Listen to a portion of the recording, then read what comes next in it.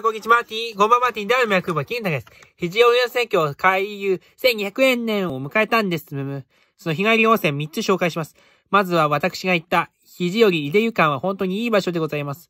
料金は450円でございます。はい。まあ、温泉入りたいですけどもね、はい。コロナ禍によっていろいろ延期があるのでご注意を。